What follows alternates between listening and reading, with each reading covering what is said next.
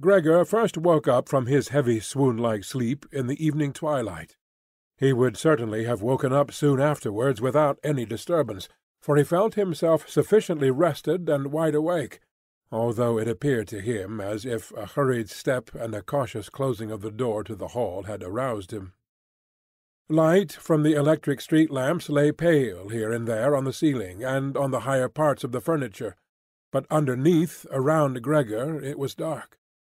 He pushed himself slowly toward the door, still groping awkwardly with his feelers, which he now learned to value for the first time, to check what was happening there. His left side seemed one single, long, unpleasantly stretched scar, and he finally had to hobble on his two rows of legs. In addition, one small leg had been seriously wounded in the course of the morning incident (it was almost a miracle that only one had been hurt), and dragged lifelessly behind. By the door he first noticed what had really lured him there. It was the smell of something to eat. A bowl stood there, filled with sweetened milk, in which swam tiny pieces of white bread. He almost laughed with joy, for he now had a much greater hunger than in the morning, and he immediately dipped his head almost up to and over his eyes, down into the milk. But he soon drew it back again in disappointment, not just because it was difficult for him to eat, on account of his delicate left side, he could eat only if his entire panting body worked in a coordinated way, but also because the milk, which otherwise was his favourite drink, and which his sister had certainly placed there for that reason, did not appeal to him at all. He turned away from the bowl almost with aversion, and crept back into the middle of the room. In the living-room, as Gregor saw through the crack in the door, the gas was lit, but where, on other occasions at this time of day, his father was accustomed to read the afternoon newspaper in a loud voice to his mother, and sometimes also to his sister, at the moment no sound was audible. Now perhaps this reading aloud, about which his sister had always spoken and written to him, had recently fallen out of their general routine, but it was so still all around, in spite of the fact that the apartment was certainly not empty. "What a quiet life the family leads!" said Gregor to himself; and as he stared fixedly out in front of him into the darkness, he felt a great pride that he had been able to provide such a life in a beautiful apartment like this for his parents and his sister. But how would things go if now all tranquillity, all prosperity, all contentment should come to a horrible end? In order not to lose himself in such thoughts. Gregor preferred to set himself moving, so he moved up and down in his room. Once during the long evening one side door and then the other door was opened just a tiny crack, and quickly closed again. Some one presumably needed to come in, but had then thought better of it. Gregor immediately took up a position by the living-room door, determined to bring in the hesitant visitor somehow or other, or at least to find out who it might be. But now the door was not opened any more, and Gregor waited in vain. Earlier, when the door had been barred, they had all wanted to come in to him. Now, when he had opened one door, and when the others had obviously been opened during the day, no one came any more, and the keys were stuck in the locks on the outside. The light in the living-room was turned off only late at night, and now it was easy to establish that his parents and his sister had stayed awake all this time, for one could hear clearly as all three moved away on tiptoe. Now it was certain that no one would come into Gregor any more until the morning. Thus he had a long time to think undisturbed about how he should reorganize his life from scratch. But the high open room, in which he was compelled to lie flat on the floor, made him anxious without his being able to figure out the reason, for he had lived in the room for five years. With a half unconscious turn, and not without a slight shame, he scurried under the couch, where, in spite of the fact that his back was a little too cramped, and he could no longer lift his head, he felt very comfortable, and was sorry only that his body was too wide to fit completely under it. There he remained the entire night, which he spent partly in a state of semi-sleep, out of which his hunger constantly woke him with a start, but partly in a state of worry and murky hopes, which all led to the conclusion that for the time being he would have to keep calm, and with patience and the greatest consideration for his family tolerate the troubles which in his present condition he was now forced to cause them. Already early in the morning—it was still almost night—Gregor had an opportunity to test the power of the decisions he had just made, for his sister, almost fully dressed, opened the door from the hall into his room and looked eagerly inside. She did not find him immediately, but when she noticed him under the couch God! he had to be somewhere or other, for he could hardly fly away.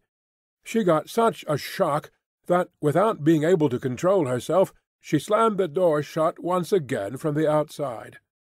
However, as if she was sorry for her behaviour, she immediately opened the door again and walked in on her tiptoes, as if she was in the presence of a serious invalid or a total stranger. Gregor had pushed his head forward just to the edge of the couch, and was observing her. Would she really notice that he had left the milk standing, not indeed from any lack of hunger, and would she bring in something else to eat more suitable for him?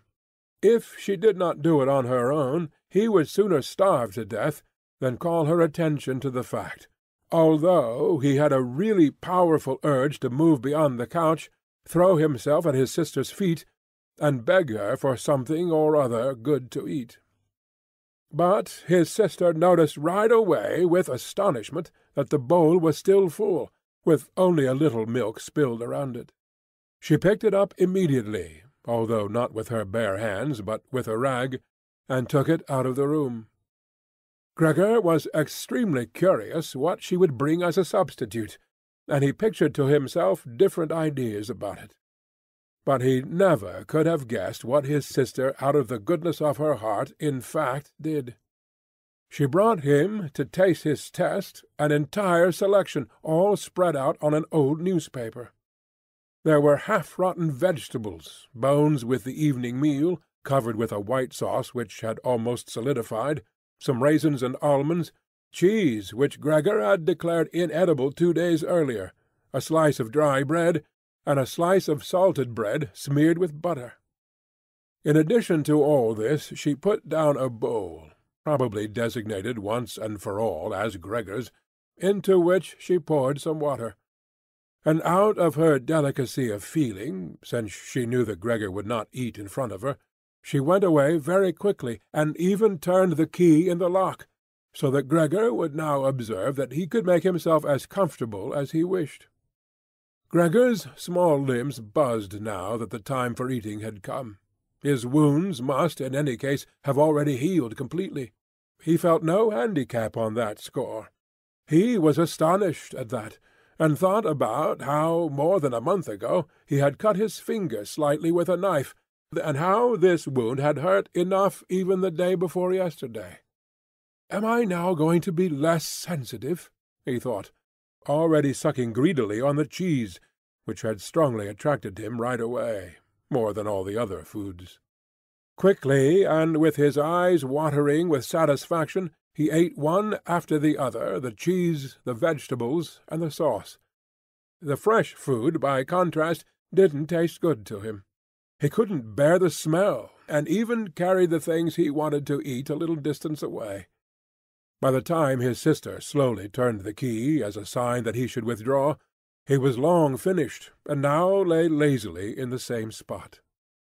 The noise immediately startled him, in spite of the fact that he was already almost asleep, and he scurried back again under the couch. But it cost him great self-control to remain under the couch, even for the short time his sister was in the room, because his body had filled out somewhat on account of the rich meal, and in the narrow space there he could scarcely breathe.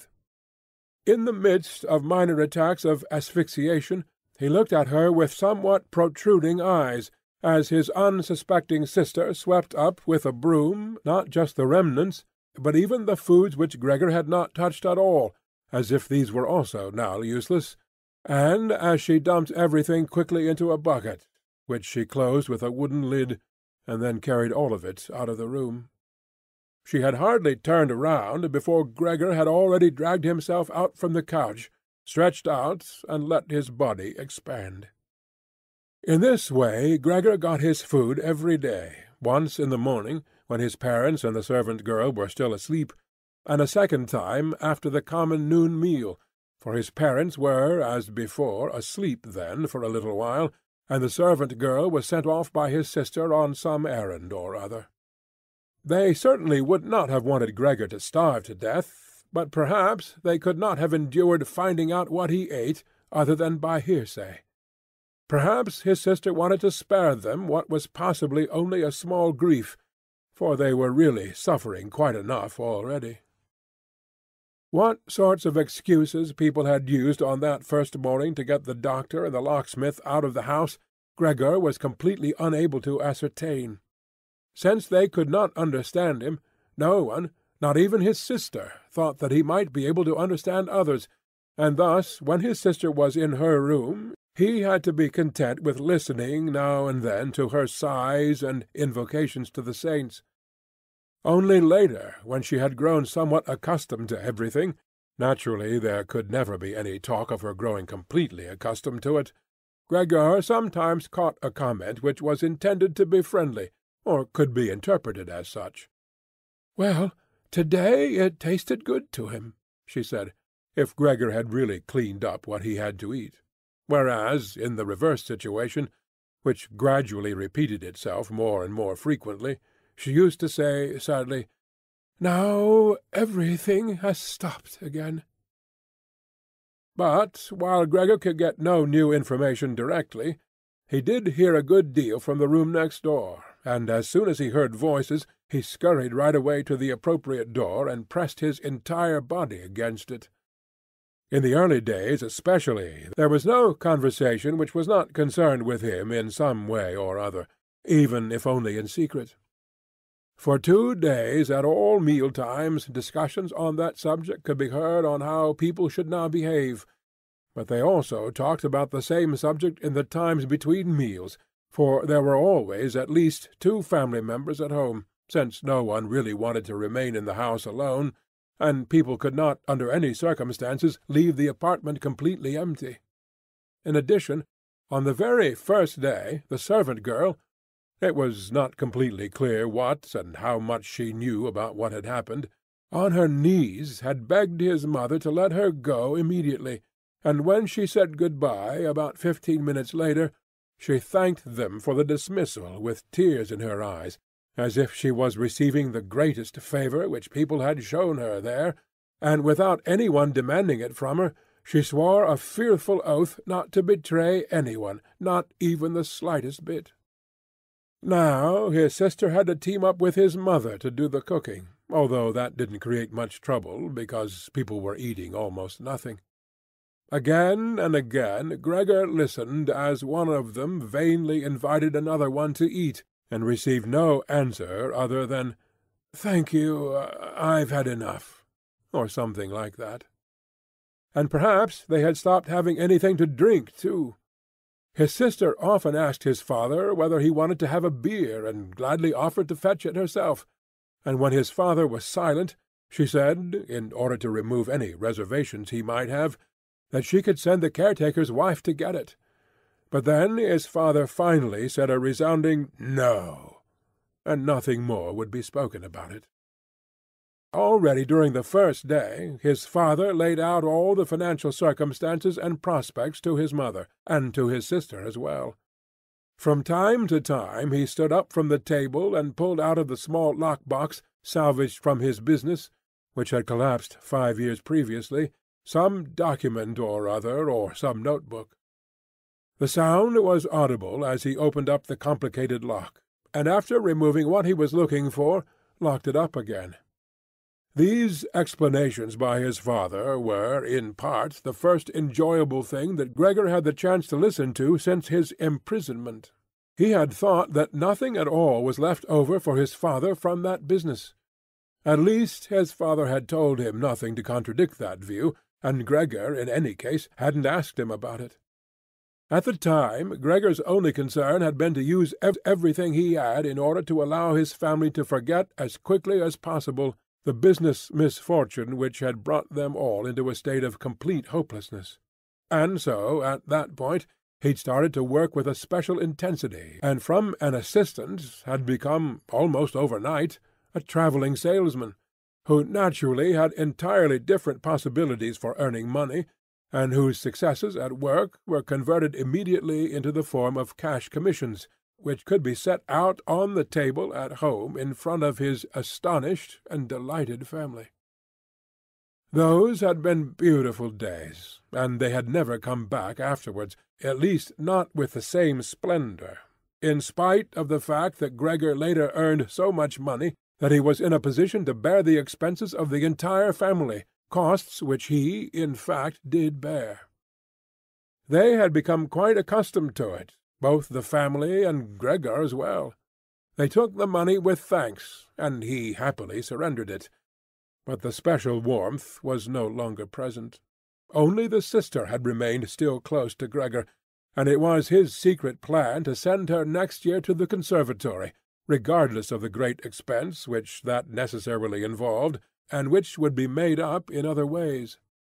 In contrast to Gregor, she loved music very much, and knew how to play the violin charmingly. Now and then, during Gregor's short stays in the city, the conservatory was mentioned in conversations with his sister, but always only as a beautiful dream, whose realization was unimaginable, and their parents never listened to these innocent expectations with pleasure. But Gregor thought about them with scrupulous consideration, and intended to explain the matter ceremoniously on Christmas Eve. In his present situation such futile ideas went through his head, while he pushed himself right up against the door and listened. Sometimes in his general exhaustion he couldn't listen any more, and let his head bang listlessly against the door. But he immediately pulled himself together, for even the small sound which he made by this motion was heard near by, and silenced every one. "There he goes on again," said his father after a while, clearly turning towards the door, and only then would the interrupted conversation gradually be resumed again. Gregor found out clearly enough, for his father tended to repeat himself often in his explanations, partly because he had not personally concerned himself with these matters for a long time now, and partly also because his mother did not understand everything right away the first time, that in spite of all bad luck, a fortune, although a very small one, was available from the old times, which the interest, which had not been touched, had in the intervening time gradually allowed to increase a little. Furthermore, in addition to this, the money which Gregor had brought home every month (he had kept only a few florins for himself) had not been completely spent, and had grown into a small capital amount. Gregor, behind his door, nodded eagerly, rejoicing over this unanticipated foresight and frugality. True, with this excess money he could have paid off more of his father's debt to his employer, and the day on which he could be rid of this position would have been a lot closer, but now things were doubtless better the way his father had arranged them. At the moment, however, this money was not nearly sufficient to permit the family to live on the interest payments. Perhaps it would be enough to maintain the family for one or at most two years, that's all. Thus it only added up to an amount which one should not really draw upon, and which must be set aside for an emergency. But the money to live on had to be earned. Now, although his father was old, he was a healthy man who had not worked at all for five years, and thus could not be counted on for very much. He had, in those five years, the first holidays of his trouble-filled but unsuccessful life, put on a good deal of fat, and thus had become really heavy.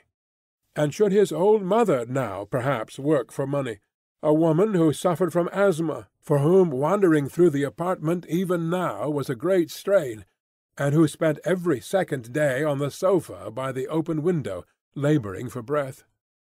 Should his sister earn money, a girl who was still a seventeen-year-old child, whose earlier lifestyle had been so very delightful that it had consisted of dressing herself nicely, sleeping in late, helping around the house, taking part in a few modest enjoyments, and above all playing the violin. When it came to talking about this need to earn money, at first Gregor went away from the door and threw himself on the coal leather sofa beside the door, for he was quite hot from shame and sorrow. Often he lay there all night long. He didn't sleep a moment, and just scratched on the leather for hours at a time. He undertook the very difficult task of shoving a chair over to the window. Then he crept up on the window sill and braced in the chair, leaned against the window to look out, obviously with some memory or other of the satisfaction which that used to bring him in earlier times. Actually, from day to day he perceived things with less and less clarity, even those a short distance away. The hospital across the street, the all too frequent sight of which he had previously cursed, was not visible at all any more, and if he had not been precisely aware that he lived in the quiet but completely urban Charlotte Street, he would have believed that from his window he was peering out at a featureless wasteland, in which the grey heaven and the grey earth had merged and were indistinguishable. His attentive sister must have observed a couple of times that the chair stood by the window. Then, after cleaning up the room, each time she pushed the chair back right against the window, and from now on she even left the inner casement open. If Gregor had only been able to speak to his sister and thank her for everything that she did for him, he would have tolerated her service more easily. As it was, he suffered under it. The sister admittedly sought to cover up the awkwardness of everything as much as possible, and as time went by she naturally got more successful at it. But with the passing of time Gregor also came to understand everything more precisely. Even her entrance was terrible for him. As soon as she entered she ran straight to the window, without taking the time to shut the door, in spite of the fact that she was otherwise very considerate in sparing any one the sight of Gregor's room, and yanked the window open with eager hands, as if she was almost suffocating, and remained for a while by the window breathing deeply, even when it was still so cold. With this running and noise she frightened Gregor twice every day. The entire time he trembled under the couch, and yet he knew very well that she would certainly have spared him gladly if it had only been possible to remain with the window closed in a room where Gregor lived. On one occasion, about one month had already gone by since Gregor's transformation, and there was now no particular reason any more for his sister to be startled at Gregor's appearance, she arrived a little earlier than usual, and came upon Gregor as he was still looking out the window, immobile and well positioned to frighten some one. It would not have come as a surprise to Gregor if she had not come in, since his position was preventing her from opening the window immediately. But she not only did not step inside, she even retreated and shut the door. A stranger really might have concluded from this that Gregor had been lying in wait for her and wanted to bite her. Of course, Gregor immediately concealed himself under the couch, but he had to wait until the noon meal before his sister returned, and she seemed much less calm than usual. From this he realized that his appearance was still constantly intolerable to her, and must remain intolerable in future, and that she really had to exert a lot of self-control not to run away from a glimpse of only one small part of his body, which stuck out from under the couch. In order to spare her even this sight, one day he dragged the sheet on his back and onto the couch. This task took him four hours, and arranged it in such a way that he was now completely concealed, and his sister, even if she bent down, could not see him. If this sheet was not necessary as far as she was concerned, then she could remove it, for it was clear enough that Gregor could not derive any pleasure from isolating himself away so completely. But she left the sheet just as it was, and Gregor believed he even caught a look of gratitude when, on one occasion, he carefully lifted up the sheet a little with his head to check, as his sister took stock of the new arrangement. In the first two weeks his parents could not bring themselves to visit him, and he often heard how they fully acknowledged his sister's present work, whereas earlier they had often got annoyed at his sister because she had seemed to them a somewhat useless young woman. However, now both his father and his mother often waited in front of Gregor's door while his sister cleaned up inside, and as soon as she came out she had to explain in detail how things looked in the room, what Gregor had eaten, how he had behaved this time, and whether perhaps a slight improvement was perceptible. In any event, his mother comparatively soon wanted to visit Gregor, but his father and his sister restrained her, at first with reasons which Gregor listened to very attentively, and which he completely endorsed. Later, however, they had to hold her back forcefully, and when she then cried, "Let me go to Gregor! He's my unlucky son! Don't you understand that I have to go to him?" Gregor then thought that perhaps it would be a good thing if his mother came in, not every day, of course, but maybe once a week. She understood everything much better than his sister, who, in spite of all her courage, was still a child, and, in the last analysis, had perhaps undertaken such a difficult task only out of childish recklessness. Gregor's wish to see his mother was soon realized. While during the day Gregor, out of consideration for his parents, did not want to show himself by the window, he couldn't crawl around very much on the few square metres of the floor. He found it difficult to bear lying quietly during the night, and soon eating no longer gave him the slightest pleasure. So, for diversion, he acquired the habit of crawling back and forth across the walls and ceiling. He was especially fond of hanging from the ceiling. The experience was quite different from lying on the floor.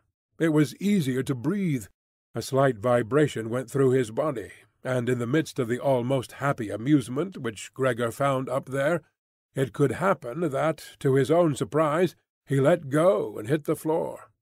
However, now he naturally controlled his body quite differently, and he did not injure himself in such a great fall. His sister noticed immediately the new amusement which Gregor had found for himself, for as he crept around he left behind here and there traces of his sticky stuff, and so she got the idea of making Gregor's creeping around as easy as possible, and thus of removing the furniture which got in the way, especially the chest of drawers and the writing desk. But she was in no position to do this by herself. She did not dare to ask her father to help, and the servant girl would certainly not have assisted her, for although this girl, about sixteen years old, had courageously remained since the dismissal of the previous cook, she had begged for the privilege of being allowed to stay permanently confined to the kitchen, and of having to open the door only in answer to a special summons. Thus her sister had no other choice but to involve his mother, while his father was absent. His mother approached Gregor's room with cries of excited joy, but she fell silent at the door. Of course his sister first checked whether everything in the room was in order. Only then did she let his mother walk in. In great haste Gregor had drawn the sheet down even further, and wrinkled it more. The whole thing really looked just like a coverlet thrown carelessly over the couch. On this occasion Gregor held back from spying out from under the sheet. Thus he refrained from looking at his mother this time, and was just happy that she had come. "Come on, he's not visible," said his sister, and evidently led his mother by the hand. Now Gregor listened, as these two weak women shifted the still heavy old chest of drawers from its position, and as his sister constantly took on herself the greater part of the work, without listening to the warnings of his mother, who was afraid that she would strain herself. The work lasted a long time. After about a quarter of an hour had already gone by, his mother said it would be better if they left the chest of drawers where it was, because, in the first place, it was too heavy. They would not be finished before his father's arrival, and leaving the chest of drawers in the middle of the room would block all Gregor's pathways. But, in the second place, they could not be certain that Gregor would be pleased with the removal of the furniture. To her the reverse seemed to be true. The sight of the empty walls pierced her right to the heart. and why should Gregor not feel the same, since he had been accustomed to the room furnishings for a long time, and in an empty room would feel himself abandoned? And is it not the case, his mother concluded very quietly, almost whispering, as if she wished to prevent Gregor, whose exact location she really didn't know, from hearing even the sound of her voice, for she was convinced that he did not understand her words, and isn't it a fact that by removing the furniture we're showing that we're giving up all hope of an improvement, and are leaving him to his own resources without any consideration? I think it would be best if we tried to keep the room exactly in the condition it was in before, so that, when Gregor returns to us, he finds everything unchanged, and can forget the intervening time all the more easily. As he heard his mother's words, Gregor realized that the lack of all immediate human contact, together with the monotonous life surrounded by the family over the course of these two months, must have confused his understanding, because otherwise he couldn't explain to himself how he, in all seriousness, could have been so keen to have his room emptied. Was he really eager to let the warm room, comfortably furnished with pieces he had inherited, be turned into a cavern in which he would, of course, then be able to crawl about in all directions without disturbance, but at the same time with a quick and complete forgetting of his human past as well? Was he then at this point already on the verge of forgetting, and was it only the voice of his mother, which he had not heard for a long time, that aroused him? Nothing was to be removed, everything must remain. In his condition he could not function without the beneficial influences of his furniture, and if the furniture prevented him from carrying out his senseless crawling about all over the place, then there was no harm in that but rather a great benefit. But his sister unfortunately thought otherwise. She had grown accustomed, certainly not without justification, so far as the discussion of matters concerning Gregor was concerned, to act as a special expert with respect to their parents, and so how the mother's advice was for his sister sufficient reason to insist on the removal, not only of the chest of drawers and the writing-desk, which were the only items she had thought about at first, but also of all the furniture, with the exception of the indispensable couch. Of course, it was not only childish defiance and her recent very unexpected and hard-won self-confidence which led her to this demand. She had also actually observed that Gregor needed a great deal of room to creep about. The furniture, on the other hand, as far as one could see, was not of the slightest use. But perhaps the enthusiastic sensibility of young women of her age also played a role. This feeling sought release at every opportunity, and with it Grete now felt tempted to want to make Gregor's situation even more terrifying, so that then she would be able to do even more for him than now. For surely no one except Grete would ever trust themselves to enter a room in which Gregor ruled the empty walls all by himself, and so she did not let herself be dissuaded from her decision by her mother, who in this room seemed uncertain of herself in her sheer agitation, and soon kept quiet, helping his sister with all her energy to get the chest of drawers out of the room. Now Gregor could still do without the chest of drawers if need be, but the writing-desk really had to stay, and scarcely had the women left the room with the chest of drawers, groaning as they pushed it, when Gregor stuck his head out from under the sofa to take a look how he could intervene cautiously and with as much consideration as possible. But unfortunately it was his mother who came back into the room first, while Grete had her arms wrapped around the chest of drawers in the next room, and was rocking it back and forth by herself, without moving it from its position. His mother was not used to the sight of Gregor. He could have made her ill, and so, frightened, Gregor scurried backwards right to the other end of the sofa, but he could no longer prevent the sheet from moving forward a little. That was enough to catch his mother's attention. She came to a halt, stood still for a moment, and then went back to Grete. Although Gregor kept repeating to himself over and over that really nothing unusual was going on, that only a few pieces of furniture were being rearranged, he soon had to admit to himself that the movements of the women to and fro, their quiet conversations, and the scratching of the furniture on the floor affected him like a great swollen commotion on, on all sides, and so firmly was he pulling in his head and legs and pressing his body into the floor, he had to tell himself unequivocally that he wouldn't be able to endure all this much longer. They were cleaning out his room, taking away from him everything he cherished, they had already dragged out the chest of drawers in which the fret saw and other tools were kept, and they were now loosening the writing desk, which was fixed tight to the floor, the desk in which he, as a business student, a school student, indeed even as an elementary school student, had written out his assignments. At that moment he really didn't have any more time to check the good intentions of the two women, whose existence he had in any case almost forgotten, because in their exhaustion they were working really silently, and the heavy stumbling of their feet was the only sound to be heard. And so he scuttled out. The women were just propping themselves up on the writing-desk in the next room in order to take a breather, changing the direction of his path four times. He really didn't know what he should rescue first.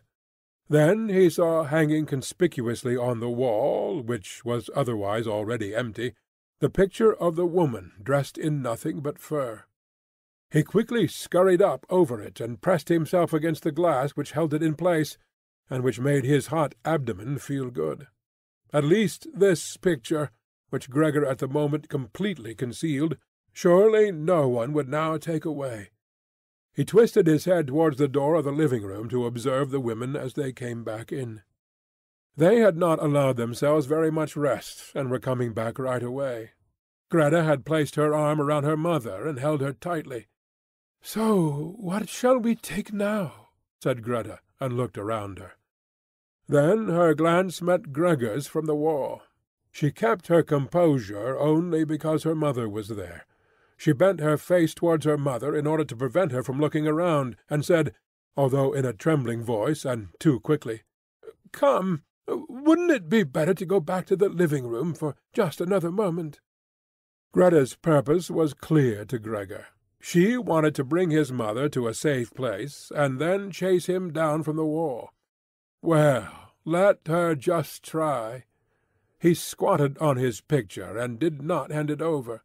He would sooner spring into Grete's face, but Grete's words had immediately made the mother very uneasy. She walked to the side, caught sight of the enormous brown splotch on the flowered wallpaper, and before she became truly aware that what she was looking at was Gregor, screamed out in a high-pitched, raw voice, "Oh, God!" and fell with outstretched arms, as if she was surrendering everything, down onto the couch, and lay there motionless. "Gregor, you—" cried out his sister, with a raised fist and an urgent glare. Since his transformation, these were the first words which she had directed right at him. She ran into the room next door to bring some spirits or other with which she could revive her mother from her fainting spell. Gregor wanted to help as well. There was time enough to save the picture. But he was stuck fast on the glass, and had to tear himself loose forcefully. Then he also scurried into the next room, as if he could give his sister some advice, as in earlier times. But then he had to stand there idly behind her, while she rummaged about among various small bottles. Still, she was frightened when she turned around. A bottle fell onto the floor and shattered. A splinter of glass wounded Gregor in the face. Some corrosive medicine or other dripped over him. Now, without lingering any longer, Grete took as many small bottles as she could hold, and ran with them into her mother. She slammed the door shut with her foot. Gregor was now shut off from his mother, who was perhaps near death, thanks to him. He could not open the door, and he did not want to chase away his sister, who had to remain with her mother. At this point he had nothing to do but wait, and, overwhelmed with self-reproach and worry, he began to creep and crawl over everything, walls, furniture, and ceiling. Finally, in his despair, as the entire room started to spin around him, he fell into the middle of a large table. A short time elapsed. Gregor lay there limply. All around was still. Perhaps that was a good sign. Then there was a ring at the door. The servant girl was naturally shut up in her kitchen, and therefore Grete had to go to open the door. The father had arrived. "Gregor, what's happened?" were his first words. Grete's appearance had told him everything. Grete replied with a dull voice. Evidently she was pressing her face into her father's chest. "Mother fainted, but she's getting better now. Gregor has broken loose." "Yes, I have expected that," said his father. "I always told you that, but you women don't want to listen." It was clear to Gregor that his father had badly misunderstood Grete's short message, and was assuming that Gregor had committed some violent crime or other. Thus Gregor now had to find his father to calm him down, for he had neither the time nor the ability to explain things to him, and so he rushed away to the door of his room and pushed himself against it, so that his father could see right away as he entered from the hall that Gregor fully intended to return at once to his room, that it was not necessary to drive him back, but that one only needed to open the door, and he would disappear immediately. But his father was not in the mood to observe such niceties. "Ah!"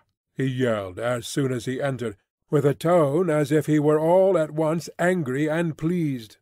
Gregor pulled his head back from the door and raised it in the direction of his father.